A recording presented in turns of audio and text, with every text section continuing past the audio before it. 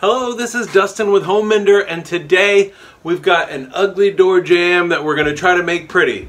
The door is only a year old, but the jamb is a lot older than that. It's solid, it doesn't have any rot, but it does have some funky spots in it. So we're going to dress up an ugly door jamb. I'm going to show you how. Let's get to it.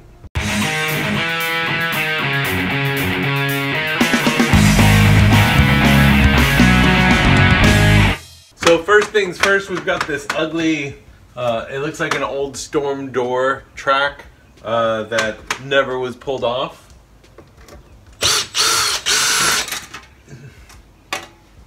Looks like the brick mold's still in good shape. We'll get that like caulked and painted.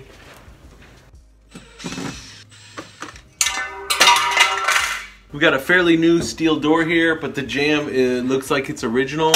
Got a lot of big notches, and this is a copper weather strip, which we're gonna pull off. And it looks like we've got one of those storm door spring deals. This door had a little bit of everything. We can caulk the holes. I got Alex Painters here. We can go ahead and fill this little gap here with the painters. If it needed to be secured, I would use something a little more hardcore, but it looks, it's just surface stuff, so we're gonna fill it with painters, but you do have to paint over it.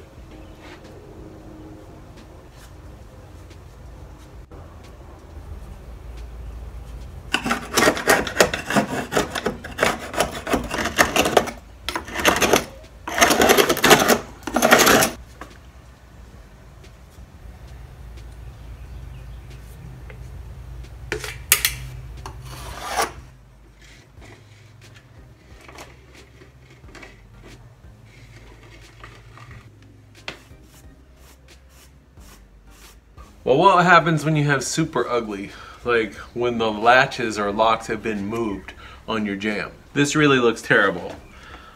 And to fix this one, we're gonna have to pull off the latch.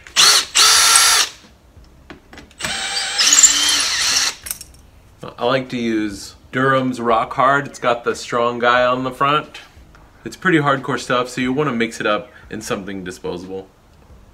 I'm gonna pour a little water in there. Okay, so mix it up with a little bit of water. Now I still want it to be super pliable. I don't want it to be drippy or runny.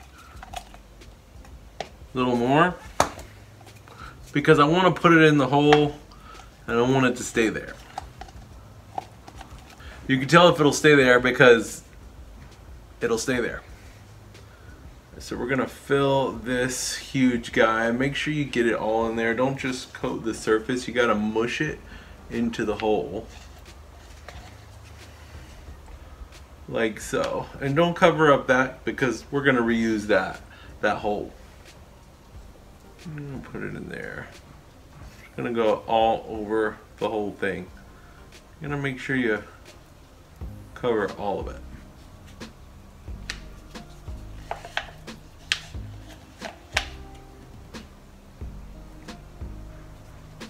Fill it all in there. You got to bring it up past the surface of the door jamb that's not damaged. Now we're to take a straight edge. You could use like a knife or a piece of cardboard or whatever you want to use. And you have to wipe off the excess to create the hard edge. And you can see that ripple right there. I might need to leave that. We can take this part off. You're trying to recreate a surface and sometimes they have a corner in it. You need to do it in steps. This stuff hardens pretty quickly. I would say within 15 minutes it'll be hard. I'm not really happy with that. I'm gonna try a mud knife. Put a little more rock hard up here, like so. I'm gonna wet my knife too because I think it'll provide a better finish.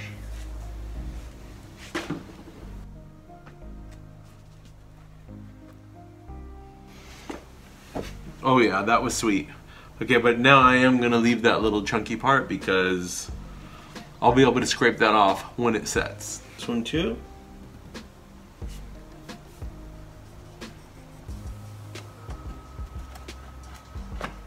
Now you may want to add another coat to these.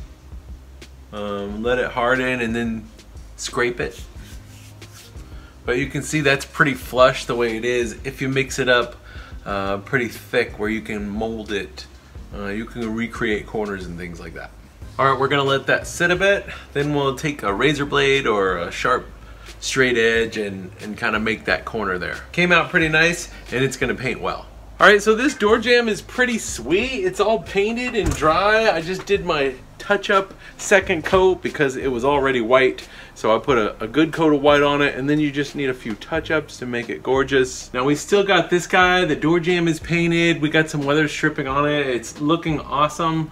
Uh, and this is looking pretty good. I'm just gonna do a little a little shaping up with my scraper here and um, depending on what yours looks like you may need another coat. Just thin it out this time. It doesn't have to be so heavy and, and moldable um, if it just needs a nice skim coat. If you have to make a corner you're gonna have to make it chunky so you can mold it. This one's probably just gonna need a little creamy one last fill and it's gonna be awesome.